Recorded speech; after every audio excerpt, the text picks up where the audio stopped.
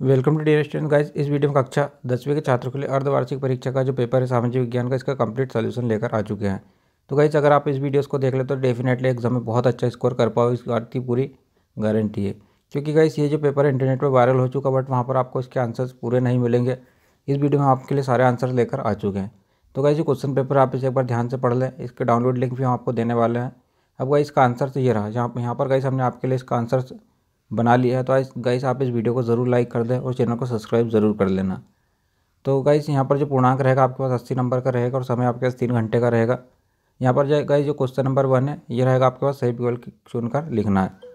तो गाइस यहाँ पर हमें सही विकल्प चुनकर लिखना है गाइस तो इसमें आप देख सकते हो, भारत में शुद्ध बोए गए क्षेत्र अस्सी परसेंट क्षेत्र क्या है गाइस तो यह है पंजाब और हरियाणा। इसका सही आंसर हो जाएगा। फिर गाइस एक एल है समतुल्य है।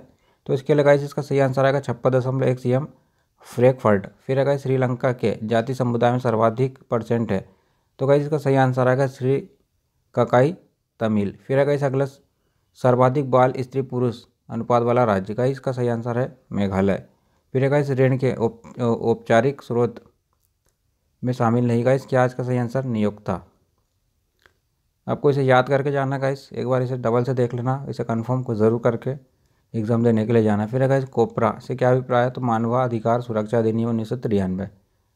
फिर गाइस ये रहे यहाँ पर रिक्त स्थानों की हमें पूर्ति करना है। तो देखिए गाइस यहाँ पर जो पहला रिक्त स्थान है, संयुक्त वन प्रबंधन। सर्वप्रथम पश्चिम बंगाल में लागू किया गया था हथियारबंद आदिवासी संघर्ष। इसके बारे में गाइस सब इस वीडियो डिस्क्रिप्शन में बताने वाले हैं आपको। फिर है वी का मापांक, शरीर द्रव्यमान मापांक। फिर है गाइस अगला, राइट टू इन्फॉर्मेशन कानून भारत में बारह अक्टूबर 2005 को लागू किया गया। फिर अगर इस भारतीय संविधान में जो सूची होती है, बाईस भाषाओं की है, फिर अगर इस मेघने राइट लोहा इसके में लोहा कितने परसेंट होता है ये होता है गाइस सत्तर प्रतिशत। फिर अगर इस यंग यूरोप की स्थापना तो ये हुई थी अठारह सौ चौंतीस में। गाइस, यहाँ पर सही जोड़ी है, आपको देखना है, इसके आंसर ये रहा है। तो गाइस, इसे हमने हाईलाइट कर दिया ताकि आप इसे एक बार देख लो तो आपको समझ में आ जाए।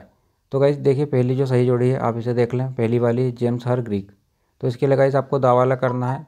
दा रहा गाइस इसका सही आंसर यह रहा गाइस इसका सही आंसर दा वाला स्विंगिंग जेनी फिर है गाइस यहाँ पर सिटी फोर्ट एरिया इसके लिए आपको ये लगाना गाइस सा वाला फिर है गाइस यहाँ पर जो तीसरा है, तीसरे के लिए आपको लगाना आ वाला चौथे के लिए गाइस आपको लगाना बहुराष्ट्रीय कंपनी नाइकी। फिर ग्रीक वेंट मूवमेंट इसके लिए गाइस आपको लगाना बांगरी मथाई और रेड होल इसके लिए लगाना गाइस आपको लंबी संकीर्ण सुरंग। तो इसका आप स्क्रीनशॉट ले लेना गाइस उसे एक बार और पढ़ लेना। यहाँ पर हम देखते हैं, एक बाकी में उत्तर लिखिए। प्रथम अंतर्राष्ट्रीय पृथ्वी सम्मेलन कब और कहाँ आयोजित किया गया था गाइस तो इसका सही आंसर है ब्राज़ील में। किसी भी धर्म को राज्य के धर्म के रूप में अंगीकृत नहीं किया जा, जाना क्या कहलाता गाइस धर्म निरपेक्ष राज्य। फिर है गाइस उन्नीस अंठानवे ममता बनर्जी के नेतृत्व में मान्यता प्राप्त, राष्ट्रीय दल का नाम। यह गाइस तृणमूल कांग्रेस, सार्वजनिक और निजी क्षेत्र के विभाजन का आधार क्या है गाइस? तो उसका आंसर आप वीडियो को रोककर लिख लेना। यह रहा गाइस इसका आंसर थोड़ा सा लंबा है तो आप इस वीडियो को रोककर इसका आंसर लिख लेना। यह गाइस रोज़गार की शर्तें, आर्थिक गतिविधियों के स्वभाव, उद्यमों के स्वामित्व उद्गम के नियोजन, श्रमिकों की संख्या। फिर है गाइस अठारह सौ तेरह में फ्रांस से लौटते हुए नेपोलियन के किस रूप में दर्शाया गया? तो डाकिया के रूप में गई फिर उन्नीसवीं सदी के अंत में अफ्रीका के सबसे बड़े जो औपनिवेशक क्षेत्र का नाम इसका आंसर हम वीडियो डिस्क्रिप्शन में डालने वाले हैं। फिर अगर सत्रह सौ चौंसठ में कतई प्रक्रिया में की जाने वाली मशीन थी। गैस ब्रिटिश कड़ाई और जेम्स हरगेंस तो आप इसे एक बार कन्फर्म ज़रूर कर लेना गाइस, यहाँ पर। और जो सत्य सत्य गाइस, आप इसे एक बार ध्यान से ज़रूर देख लें। तो गाइस, यहाँ पर जो सत्य सत्य अंड अंडमानी टील जाति प्राकृतिक व भौगोलिक सीमाओं के सामान्य क्षेत्र में पाई जाती है क्या गाइस? तो इसका सही आंसर हो जाएगा। फिर सरदार सर, सरदार सरोवर बाँध परियोजना से गुजरात में एक सौ तिहत्तर गाँव और नौ हज़ार चार सौ नब्बे कस्बे लाभान्वित हुए थे गाइस। इसका भी सही आंसर हो जाएगा। तीसरे वाला तीसरे का भी सही आंसर हो जाएगा गाइस। इसका आंसर हो जाएगा सही। चौथे का भी सही हो जाएगा आप इसे पढ़ लेना एक बार। और जो पाँचवा इसका भी सही आंसर हो जाएगा।